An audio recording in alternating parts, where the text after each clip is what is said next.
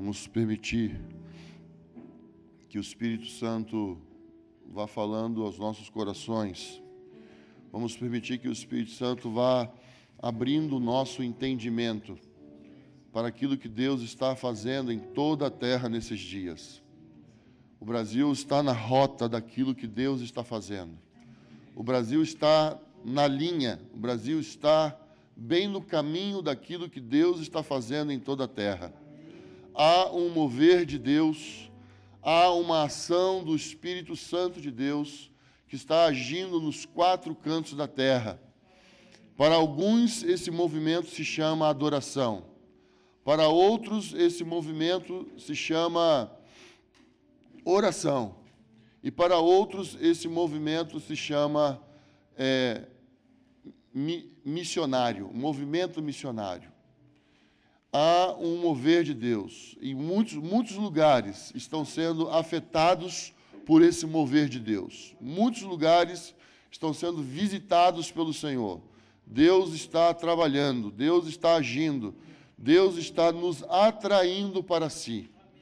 Então, eu quero falar sobre oração.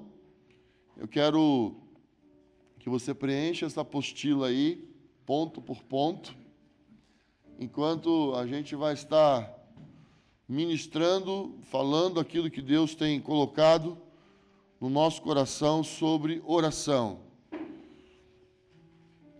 Eu gostaria de falar um pouco sobre oração e glória. Então, quando a gente começa a experimentar um ambiente como esse aqui e vai abrindo a glória de Deus vai se manifestando.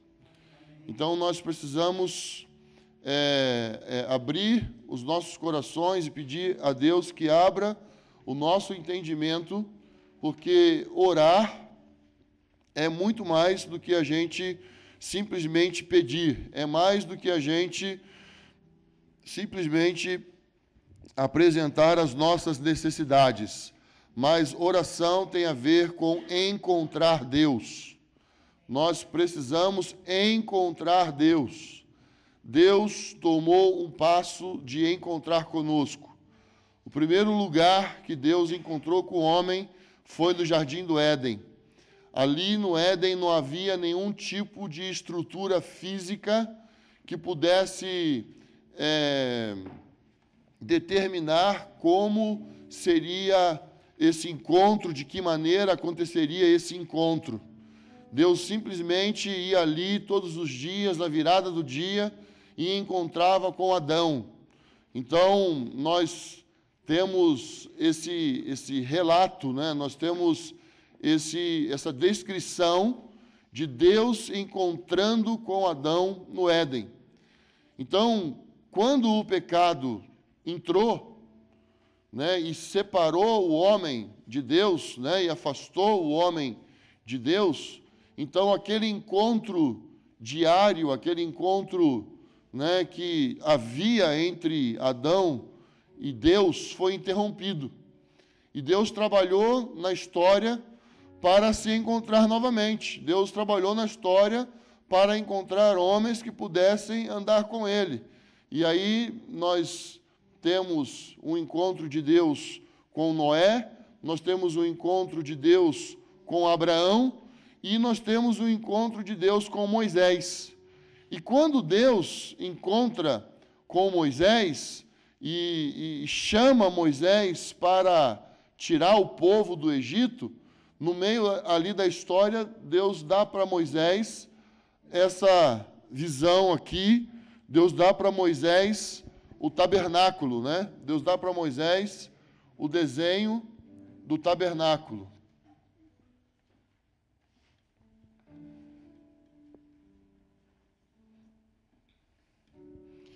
E nesse tabernáculo, Deus colocou algumas instruções, Deus colocou algumas restrições, Deus colocou um caminho.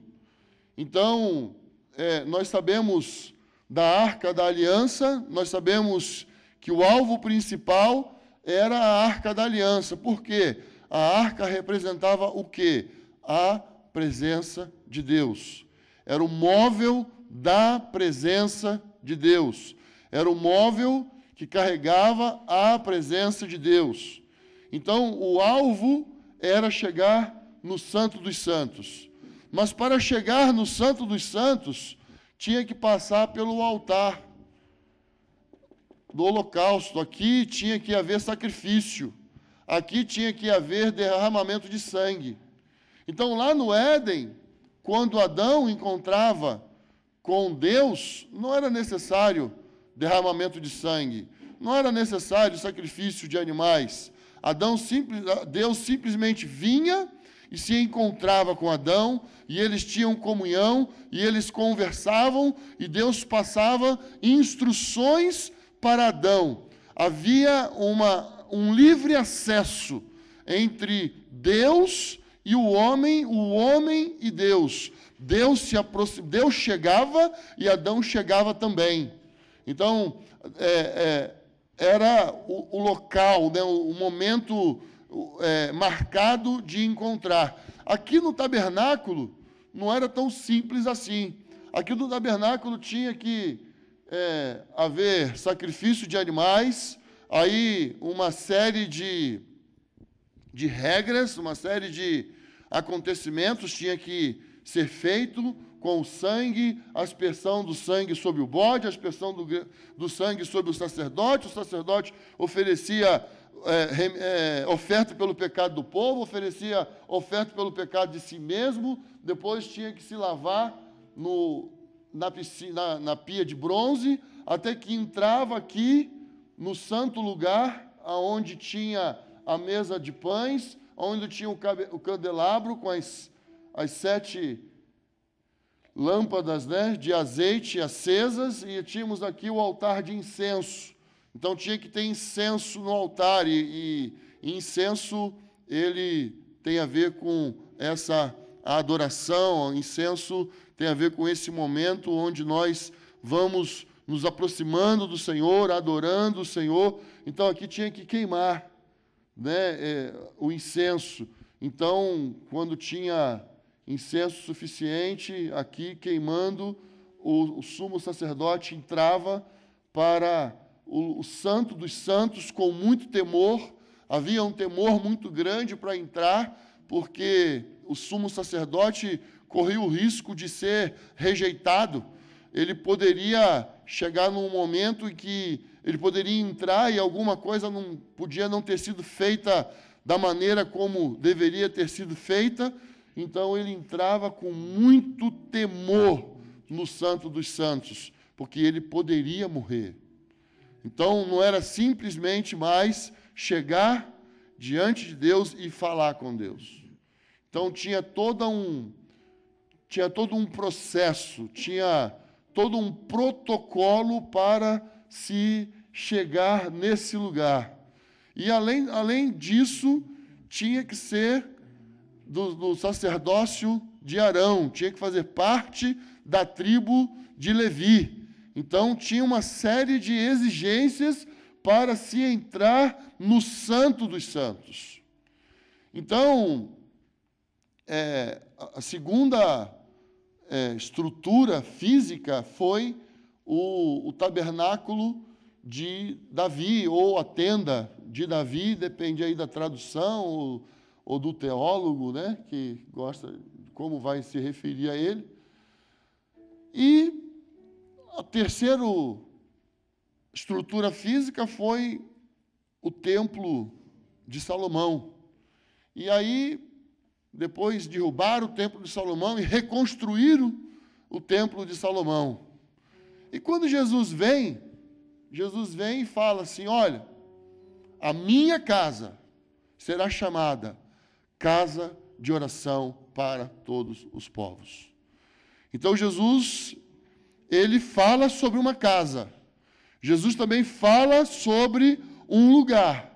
Mas quando Jesus se refere a essa casa, e quando Jesus se refere a esse lugar, ele está se referindo a mim e a você. Ele está nos chamando de casa de oração. Nós somos a casa de oração. Apóstolo Paulo fala depois que nós somos templo do Espírito de Deus. Então, quando nós falamos sobre casa de oração, nós não estamos falando de é, conferência de oração. Quando nós falamos sobre casa de oração, nós não estamos falando sobre o dom de oração, porque oração não é um dom. Oração não é um dom. Oração não é conferência. Oração não é departamento de uma congregação local. Mas a oração é o meio pelo qual nós utilizamos para nos encontrar com o Senhor. Amém? Então, oração não, não é uma. não tem um método né, eficaz sobre oração. E quando nós falamos sobre casa de oração, nós precisamos entender que essa é nossa vocação. Essa é nossa vocação. Jesus fala isso em Mateus capítulo é, 21, versículo 13, e ele se remete a Isaías 56, quando o profeta fala que o Senhor vai reunir todos aqueles que estão dispostos a abraçar a sua aliança, e ele vai levar para o seu Monte Santo, onde está a sua casa de oração. Então, Jesus vem e fala que a sua casa será chamada casa de oração. Apóstolo Paulo depois vem e fala que nós somos o templo do Espírito Santo. Nós somos o templo onde Deus quer habitar. Então nós somos a casa de oração. Nós somos o lugar onde Deus quer habitar. Mas quando Jesus fala sobre essa casa de oração, Jesus sabia de toda a exigência que havia para se chegar até o Santo dos Santos. Jesus sabia que para chegar no Santo dos Santos era necessário que fosse feitos sacrifícios, ofertas. Jesus sabia de toda a regulamentação para uma pessoa chegar diante de Deus. Jesus sabia sobre a ordem araônica. Jesus sabia disso. E Jesus, ele não era da tribo de Levi. Jesus era de qual tribo? De Judá. Jesus era da tribo de Judá.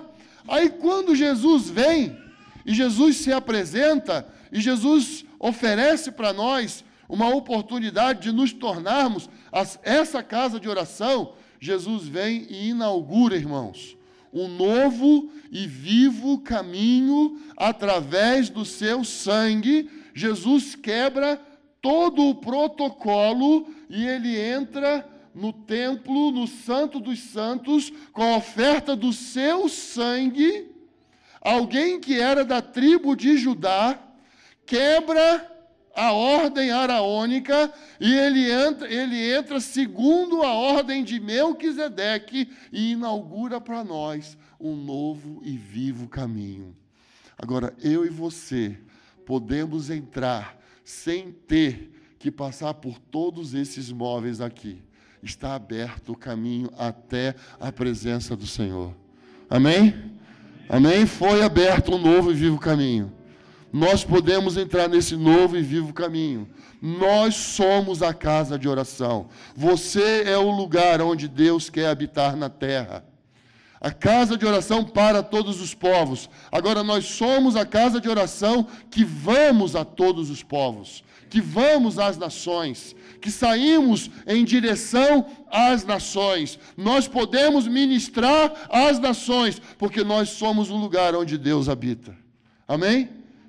Vocês parecem que não estão muito convencidos, não, ainda estão com sono. Nós somos a casa de oração. Você é a casa de oração. Casa de oração não é um movimento. Casa de oração não é um lugar físico parado em, em um ponto de uma cidade. Casa de oração somos nós. Nós somos o lugar onde Deus deseja habitar. Nós somos um lugar adquirido do Senhor.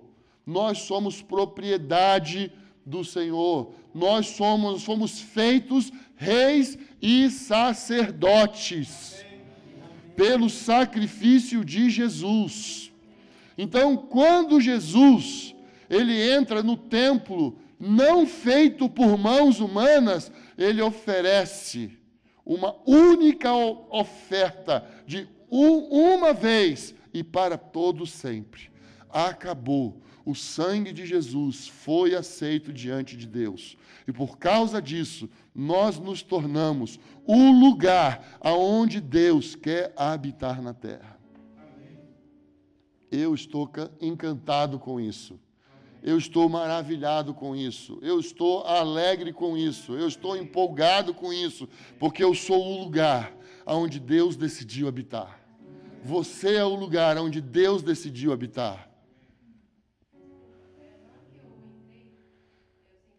Você quer falar no microfone, por favor? Vai ser melhor, porque está sendo gravado. Mas vem aqui, por favor. Fala no microfone. É, na hora que eu entrei, já estava acontecendo louvor, né? E eu sentei e olhei para as pessoas, né? E comecei a cantar. E o Senhor falou assim para mim: a gente não tem noção do que é pedir para que a glória dele venha. Porque se nós tivéssemos essa noção, seria, era diferente. Aí eu falei: meu Deus, como assim? É como se a gente tivesse que orar para que Deus abrisse a nossa mente e a gente tivesse noção do que nós estávamos pedindo porque ele ouve. Aí eu falei, tá bom. Aí eu, eu falei, né, depois eu falo, mas fica incomodando, sabe? E eu queria, assim, que a gente realmente tivesse sensibilidade, orasse mesmo e tivesse essa consciência do que é a glória do Senhor. Agora que você falou do tabernáculo, eu lembrei, acho que eu li em Hebreus que fala disso, né, quando Jesus entra no tabernáculo e, e coloca o seu próprio sangue, né? é muita, é muita glória, é muita. Não tem palavras, né?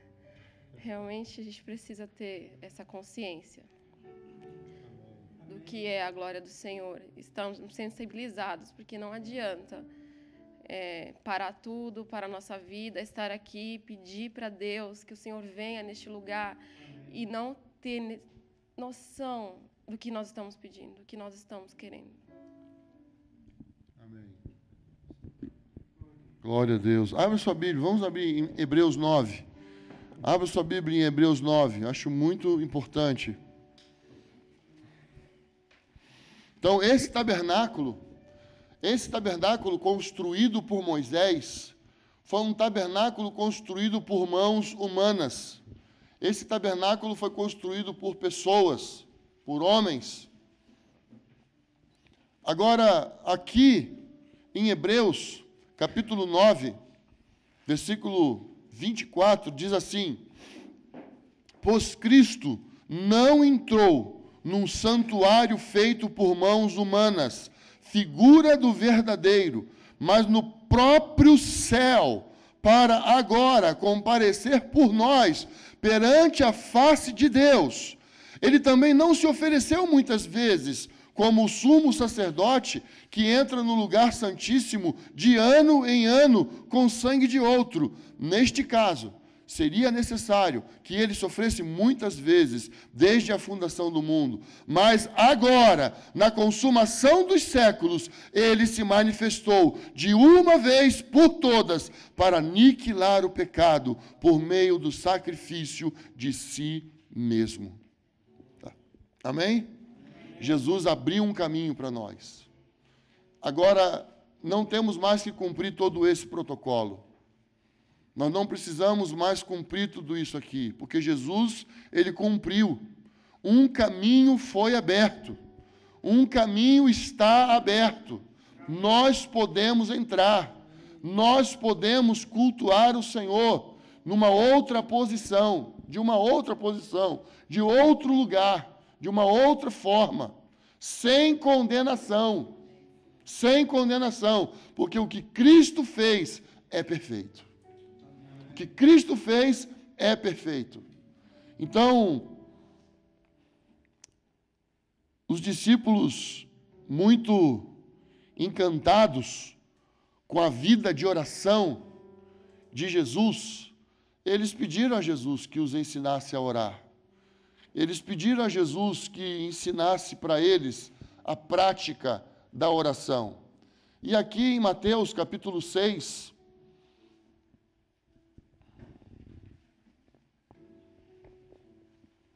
nós temos ensinamentos de Jesus sobre oração.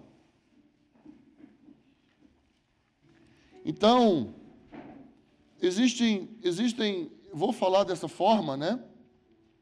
Que é o que temos entendido sobre isso.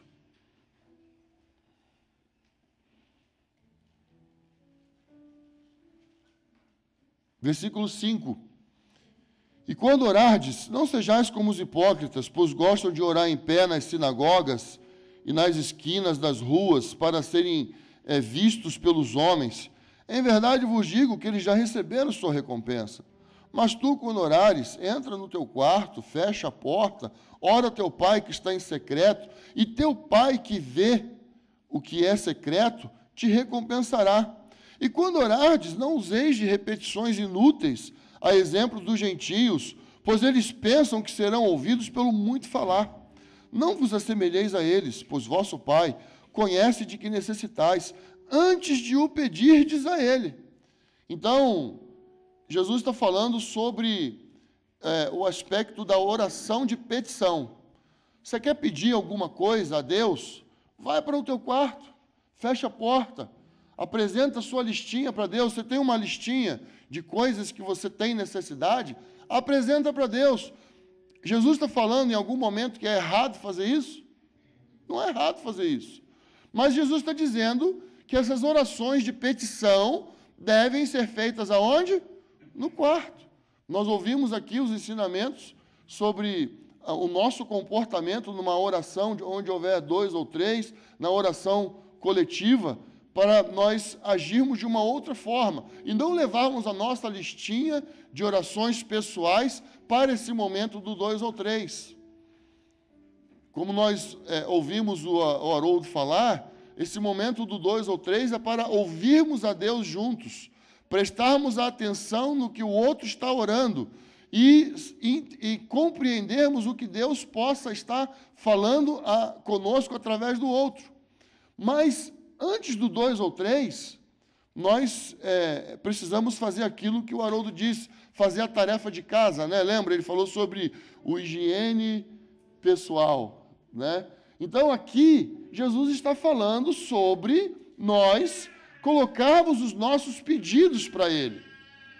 Mas é, Jesus ainda dá algumas dicas. Olha, se você tem é, pedidos a serem feitos, você não precisa ficar repetindo tanto o que você quer, mas fala com fé, fala crendo, pede crendo.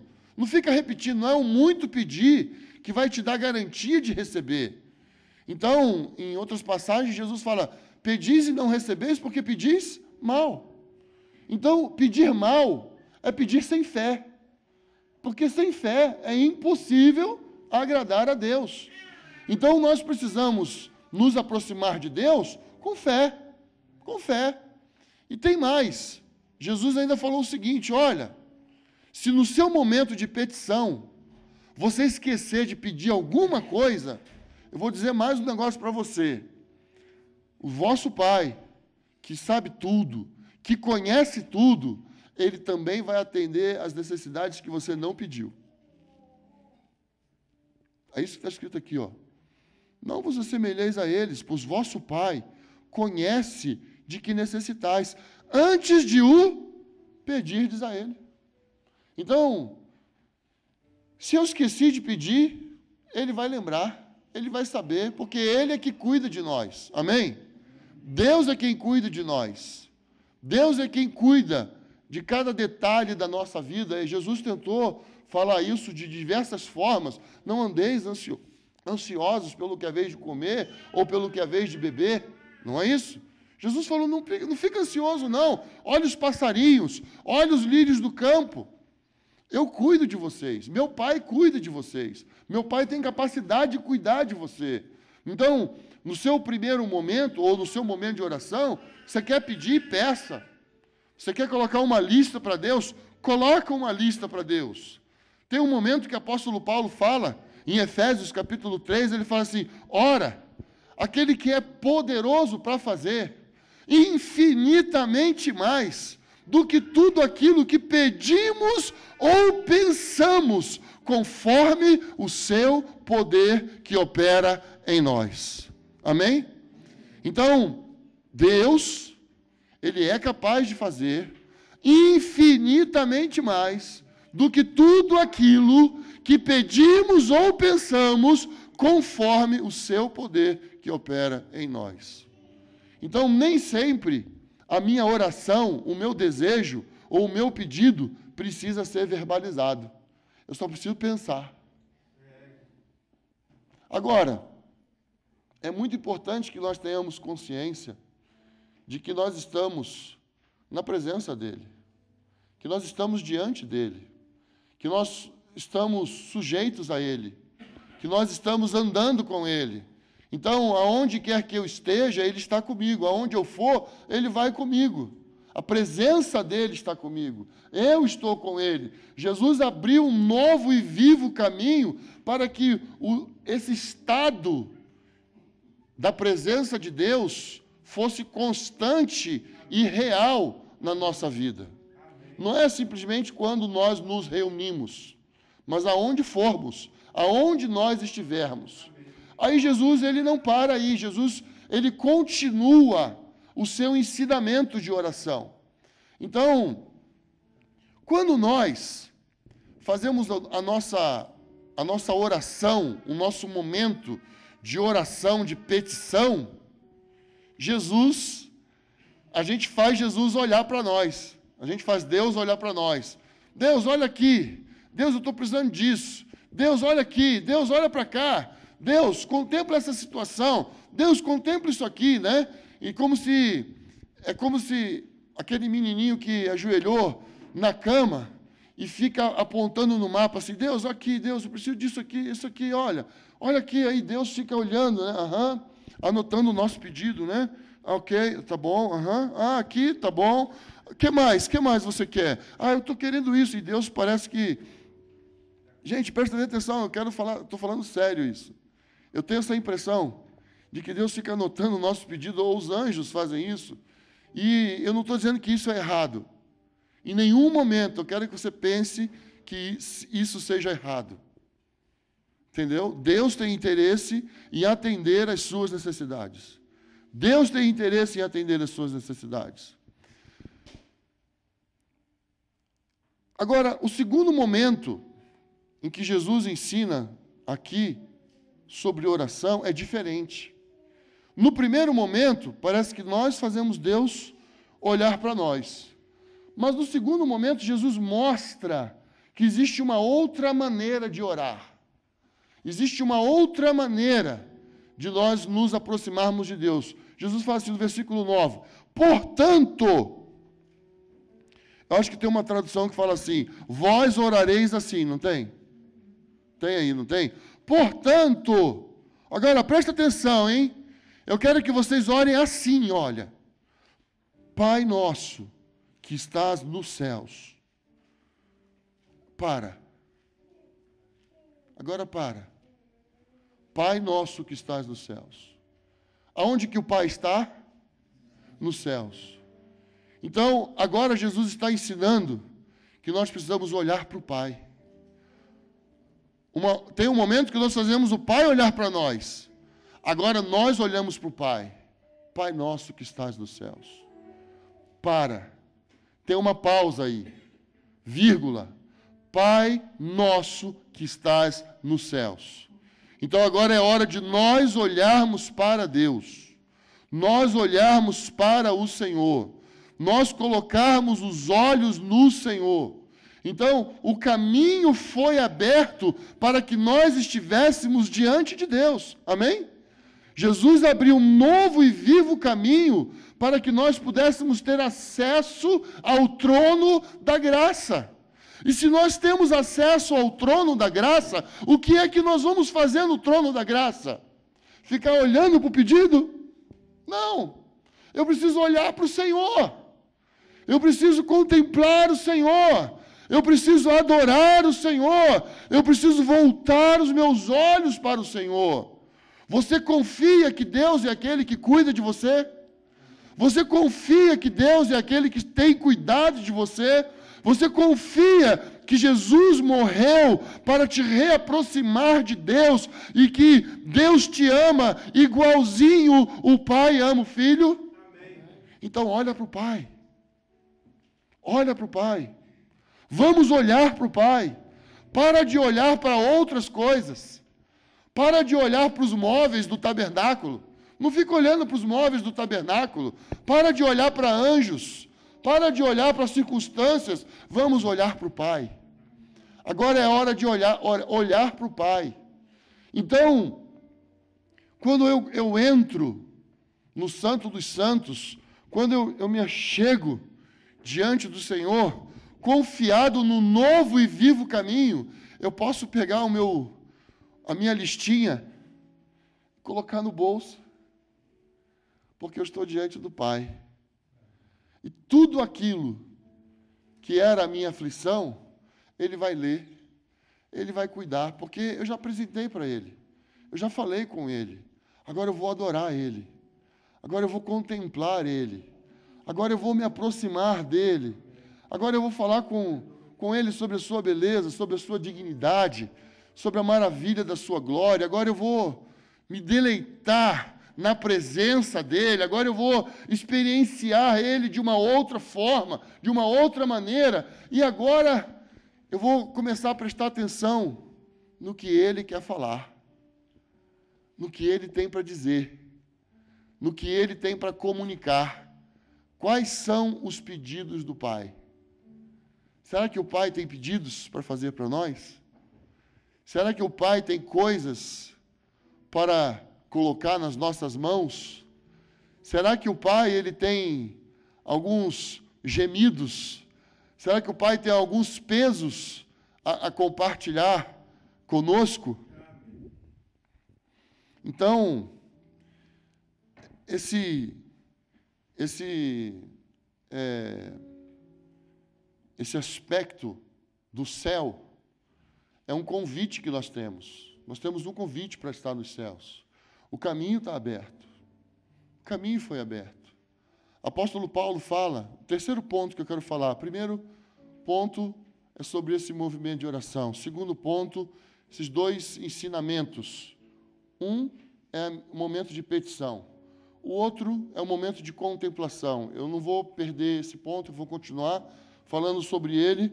Mas o terceiro ponto é que nós temos um convite para andarmos pelo céu. Nós temos um convite para visitarmos as regiões celestiais. O Senhor nos convidou para estar lá. E tem mais: o caminho está aberto. O caminho está aberto. E Jesus, ele fala sobre esse caminho, e Jesus mostra como esse caminho foi aberto. Então, é, Efésios capítulo 1, versículo 3 fala: Bendito seja o Deus e Pai de nosso Senhor Jesus Cristo, que nos abençoou com todas as bênçãos espirituais nas regiões celestiais em Cristo. Amém? Nós fomos abençoados, amém? Nós somos abençoados nas regiões celestiais em Cristo. Onde estão as regiões celestiais? Acima da terra, debaixo do céu. As regiões celestiais. O Senhor nos abençoou lá. Você precisa ir lá pegar essa bênção. Você precisa ir lá provar. Você precisa ir lá para usufruir dessa bênção. E tem mais. Jesus, ele abriu para nós um caminho. Jacó, em Gênesis 28, ele teve a experiência de deitar e sonhar e, e ver uma escada. Então, anota a passagem aí, tá bom? Anota a passagem aí. Gênesis 28, versículo 12 e 13. Então sonhou que havia uma escada colocada sobre a terra, cujo topo chegava ao céu, e os anjos de Deus subiam e desciam por ela. E acima dela estava o Senhor que disse: Eu sou o Senhor, o Deus de teu pai Abraão, e o Deus de Isaque. Darei a ti a tua descendência, a tua descendência esta terra em que estás deitado. Então Jacó viu o céu aberto, Jacó viu uma escada, e Jacó viu anjos subindo e descendo. Ezequiel teve essa experiência. Ezequiel capítulo 1, versículo 1 fala: No quinto dia do quarto mês do trigésimo ano, eu estava entre os exilados, junto ao rio Quebar os céus se abriram e tive visões de Deus. Aí, quando nós chegamos lá em Apocalipse capítulo 4, depois que João profetiza as sete igrejas da Ásia, depois que João escreve cartas às igrejas da Ásia, João tem uma visão de uma porta aberta no céu e ouve uma voz que diz: sobe aqui, sobe aqui, vem, sobe aqui. Então, quando Jesus ele é batizado nas águas, em Mateus capítulo 3, versículo 13 a 17, Marcos capítulo 1, do versículo 9 ao, ao 11, Lucas 3, 21 e João 1, 32, subentendido ali, diz que quando Jesus foi batizado, os céus se abriram e o Espírito Santo desceu sobre ele. O Espírito Santo desceu e permaneceu sobre Jesus. Então, os céus estão abertos, irmãos. Os céus foram abertos. Como é que nós vamos nos relacionar com Deus? Crendo que os céus estão abertos, ou olhando para Jesus, olhando para Deus, achando que os céus estão fechados? Eu creio que os céus estão abertos. Eu creio no que está escrito aqui. Eu creio que os céus foram abertos. Eu creio que o Espírito Santo desceu e pela primeira vez ele permaneceu sobre um homem chamado Jesus. E nós recebemos esse Espírito, o Espírito de Deus, que nos leva a ter comunhão com o Senhor, que nos leva a reconhecer que verdadeiramente nós somos filhos de Deus. Você é um filho amado de Deus. E Deus quer ter comunhão com você. Deus quer encontrar com você. Jesus abriu esse caminho para que nós pudéssemos nos relacionar com Deus. Pudéssemos ouvir Deus. Encontrar. Lembra aqui que nós ouvimos falar sobre tocar? Tocar, não só ver, mas tocar chegar tão próximo. Jesus falou: aquele que bate, aquele que, que, ba, aquele que pede, recebe. O que busca, encontra. E o que bate, abrir-se-vos-á. Então, uma coisa é eu pedir de longe e ficar buscando. Outra coisa é eu chegar perto da porta e bater. Agora, João disse que a porta está aberta. João disse que a porta está aberta. Aí, Jesus, ele, em João capítulo, João capítulo 1, versículo 51, Jesus ele se assemelha à escada de Jacó. Ele fala assim: Ah, vocês estão perplexos? Vocês estão maravilhados? Olha, digo mais para vocês: vocês verão os céus abertos e anjos de Deus subindo e descendo sobre o filho do homem. Quem é a escada? Quem é a escada? Quem é a escada, irmãos? Jesus é a escada. Eu só não entendo porque anjo subindo e descendo.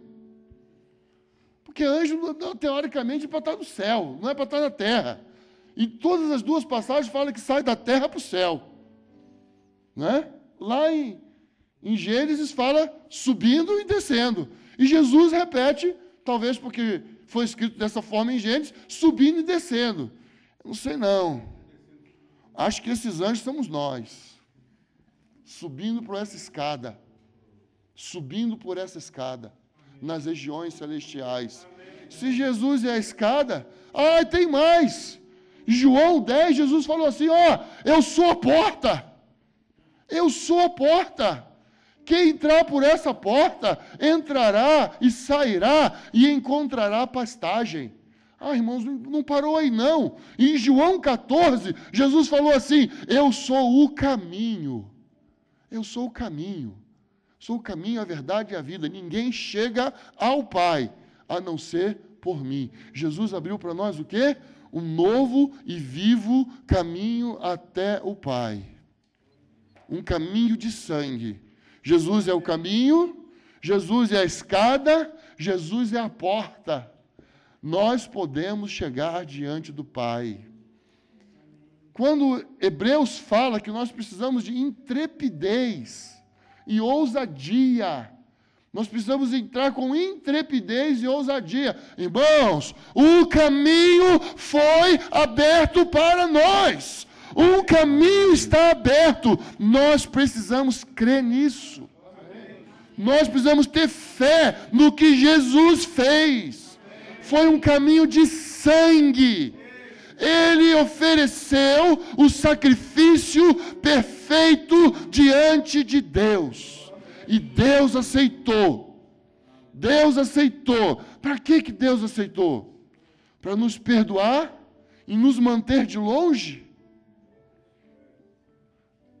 Deus quer contato conosco. Deus quer relacionamento conosco. Deus quer proximidade conosco. Deus quer nos envolver nos seus projetos. Então, quando eu apresento a minha listinha para Deus, eu faço Deus se envolver nos meus projetos. Ok? Eu quero que Deus se envolva nos meus projetos. Irmãos, Deus não tem problema nenhum em se envolver nos nossos projetos. Só que Ele vai conversar com a gente. Tem certeza que é por aí? Tem certeza que é isso que você quer? Olha, eu penso que pode ser um pouco diferente. Tá? Deus, você não, você não quer que Deus se envolva nos seus projetos? Tudo bem, ele, ele aceita.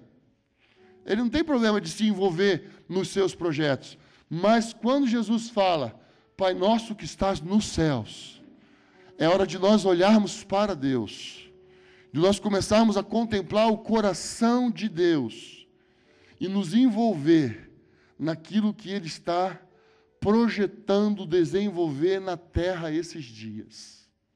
Ele não quer fazer nada sem você. Ele quer fazer junto com você, ele quer fazer junto conosco. Ele quer trabalhar conosco, ele quer desenvolver esse esse esse aspecto de de relacionamento. Vamos para João capítulo 17. Eu estava indo para a nossa sala de oração uma madrugada dessas atrás, e eu cheguei mais cedo ali que todo mundo. E eu comecei a orar.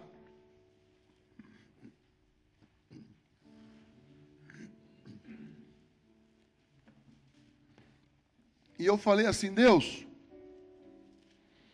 me mostra alguma coisa que eu não esteja vendo. Deus, eu gostaria de ver alguma coisa que eu não estou vendo. Pedi para Deus, Deus me mostra. Me mostra algo que eu não estou vendo. E rapidamente eu senti o Espírito Santo é, me levando para João 17. E eu abri, irmãos, creiam vocês ou não, foram alguns minutos, porque eu cheguei um pouco mais cedo. Só cheguei um pouco mais cedo. E o Espírito Santo falou comigo várias coisas. Eu comecei a enxergar várias coisas, eu quero submeter isso a vocês. Então, aqui em João 17 fala: depois de falar essas coisas, ó, presta bem atenção. Jesus estava falando sobre sua crucificação. Jesus estava falando sobre os seus últimos momentos na terra. Jesus estava falando sobre é, é, a, o derramamento do Espírito Santo. Jesus tinha ensinado várias coisas aos seus discípulos que ele considerava importante reafirmar antes da sua partida. Aí Jesus, olha o que o texto fala. depois de falar essas coisas, Jesus levantou os olhos aos céus, ao céu, e disse: Pai, vírgula. Se a gente para para pensar em Mateus capítulo 6, versículo 9, Jesus falou assim: vocês vão orar assim, ó, Pai nosso que estás no céu, vírgula. Aqui está o contrário a sentença. Jesus levantou os olhos aos céus e disse: Pai. Então, quando Jesus levanta os olhos aos céus, Jesus está procurando o Pai. Jesus quer ver o Pai. Jesus está olhando para o Pai. Jesus está focando no Pai. Tem um outro momento que tem traduções diferentes que Jesus, na hora de, da multiplicação dos pães, diz que Jesus recobrou a visão. Tem tradução que diz que Jesus olha para os céus. Ele olha para Deus. Ele contempla Deus antes da multiplicação dos pães. E aqui, Jesus levanta os seus olhos e olha para o Pai. Ele procura o Pai. Ele estava, naquele momento, se colocando diante do Pai. Aí eu comecei a entender que essa oração aqui de Jesus não é só uma oração de prestação de contas daquilo que ele fez, das coisas que ele tinha feito. Então, é, eu comecei a perceber que Jesus estava querendo muito mais do que fazer uma prestação de contas para Deus. Ele fala assim: chegou a hora, glorifica teu filho para que também o Filho te glorifique. Assim como lhe deste autoridade sobre toda a humanidade, para que conceda a vida eterna a todos os que lhe destes, e a vida eterna é esta: que conheçam a ti, o único Deus verdadeiro, e a Jesus Cristo que enviaste, e te glorifiquei na terra, completando a obra da qual me encarregastes. Agora, pois, glorifica-me, ó Pai, vírgula. Isso tem uma pausa. Glorifica-me, ó Pai. O que, que Jesus está pedindo a Deus? O que, que Jesus está pedindo a Deus? Glória. Está pedindo glória. Pai, me glorifica. Me glorifica. Pai, eu quero ser glorificado. Irmãos, presta bem atenção. Jesus era Deus e ele abriu mão da sua glória para se tornar homem. Se Jesus viesse aqui como homem, cheio de glória, ele não seria visto como homem. Ele não seria reconhecido como filho de Deus, de em hipótese alguma.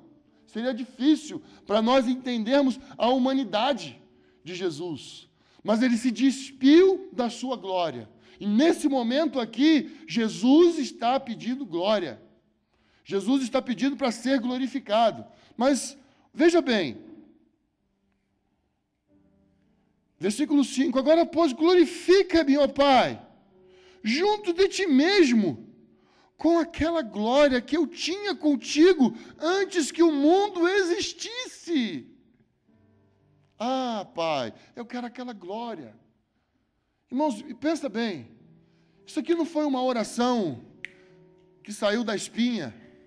Isso aqui é um momento de adoração de Jesus. Isso aqui é um momento de contemplação. É um momento em que Jesus está recordando diante do Pai sobre a glória que ele tinha. E nesse momento, Jesus está pedindo ao Pai para ser glorificado pelo Pai. Jesus está pedindo ao Pai que dê para ele novamente aquela glória. Jesus está pedindo isso. Jesus está pedindo isso para o Pai. Versículo 6: Manifestei o teu nome aos homens, que do mundo me deste, eram teus e tu os destes a mim, e eles obedeceram a tua palavra. Agora sabem que tudo quanto me deste vem de ti, porque lhes transmiti as palavras que tu me deste. E eles as acolheram e verdadeiramente reconheceram que vim de ti e creram que tu me enviaste.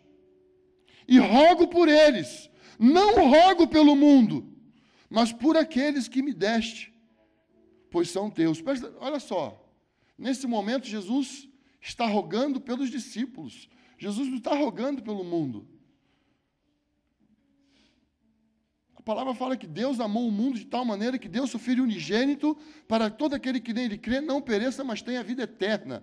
Mas tem uma coisa que Jesus falou que nós poderíamos receber e que o mundo não poderia receber, porque ainda não cria, era o Espírito Santo. Para receber o Espírito Santo precisa crer, e o mundo ainda não cria. E aqui nesse momento Jesus roga pelos discípulos e não roga pelo mundo. Jesus está clamando a Deus pelos discípulos. E nesse momento de adoração, Jesus fala, versículo 10: Todas as coisas que me pertencem são tuas, e as que te pertencem são minhas, e neles sou glorificado. Não estarei mais no mundo, mas eles estão no mundo, e eu vou para ti, Pai Santo. Guarda-os no teu nome que me deste, para que sejam um, assim como nós. Jesus, nesse momento de adoração, ele se refere ao Pai como Pai Santo, ele faz menção de um atributo de Deus, que é a santidade, é um atributo comunicável. Deus pode compartilhar conosco a sua santidade. Deus pode comunicar conosco a sua santidade. Deus é santo. Aí Jesus fala: Pai, Pai Santo. Ele fala: Pai Santo. Aí eu comecei a perceber que Jesus estava nos pegando, Jesus estava pegando os seus discípulos, e ele estava colocando assim: ó, está aqui, está aqui. Eu não posso comunicar a sua santidade para eles, mas o Senhor pode comunicar a sua santidade para eles. O Senhor pode fazer isso. O Senhor pode fazer isso. Guarda-os no teu nome, que me deste, para que sejam um, assim como nós. Enquanto eu estava com ele, eu os guardei, eu os preservei no teu nome que me deste. Nenhum deles se perdeu, senão o filho da perdição, para que se cumprisse a escritura. Mas agora vou para ti, e digo isso enquanto estou no mundo, para que eles tenham a minha alegria em plenitude. Eu lhes dei a tua palavra, e o mundo os odiou. Aí Jesus, ele ele, ele repete: Não rogo que os tire do mundo, versículo 15, mas que os, os guarde do, do maligno. Aí no versículo 17: Santifica-os na verdade, a tua palavra é a verdade. Assim como tu me enviaste ao mundo, eu também os enviei ao mundo. E por eles me santifico, para que também eles sejam santificados na verdade.